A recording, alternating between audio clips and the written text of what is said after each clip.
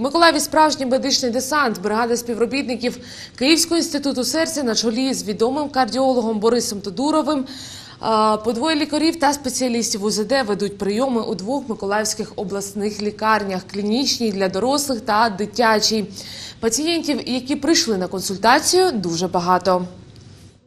В коридорі обласної клінічної лікарні зібралося кілька десятків людей. Всі прагнуть потрапити на прийом до столичних кардіологів. Ксенія Щіголь також прийшла на консультацію. Влітку цього року жінці зробили пересадку серця.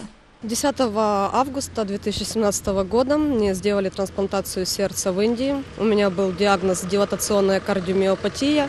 И единственный выход, чтобы остаться в живых, это нужна была трансплантация сердца. Тепер Ксенії потрібно щомісячно їздити до Київського інституту серця на прийом до лікаря. Цими днями саме підійшов термін чергового візиту. Та жінка занедужала. Тож можливість потрапити до необхідних спеціалістів в рідному місті з'явилася дуже вчасно. Для меня он очень важен, потому что мне как раз вот время ехать в Киев. Ну и тут, скажем так, Киев приехал к нам сам. Но вот проблема попасть. Очень много людей. Людей дійсно прийшло багато. В кожного своя проблема. Первый раз я на консультацию киевских кардиологов и только неделю назад обратился в наш кардиоцентр. Дальше, раньше меня это сердце не беспокоило. Инфаркт был, после инфаркта сейчас вот сосуды забились. Тоже коронография показала, что что-то надо делать. А делать может быть что? Только лишь, видимо, операция, предположение. Тоже направление к киевским э, учреждениям на консультацию. Но поскольку они приехали, я пришел сюда сейчас проконсультироваться. Такий прийом організований у Миколаєві не вперше. Останній раз київські лікарі були у місті два роки тому. Очень хороший э, эффект от таких поездок, потому что не всегда человек может приехать, потратить время, э, приехать э, на прием к у, профильному специалисту. Поэтому мы максимально стараемся упростить э, людям э, эту процедуру и приезжаем к ним сюда непосредственно.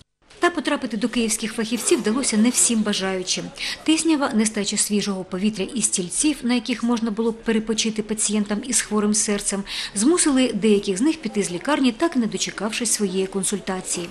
Через ці незручності не потрапили до лікаря і Ксенія Щеголь. Тож жінці все-таки доведеться їхати до Києва. Тому каже, такі акції це добре, але краще було б відкрити у Миколаєві філію інституту серця та забезпечити місто необхідним обладнанням Но если бы в Николаеве было вот такое вот отделение для людей, которым пересадили органы, да, вот ну, у меня, допустим, сердце, также есть люди, почки, печень, как бы они тоже в этих анализах очень нуждаются, и нас много, а получается такой аппаратуры у нас в Николаеве нет, хотя как бы есть все возможности ее поставить. Ті ж, кому вдалося дочекатися черги після уточнення діагнозу та кваліфікованих порад кардіологів, отримали направлення на лікування до Інституту серця у Києві. Тетяна Філіпова, Олександр Пан, телевізійні новини Миколаївщини.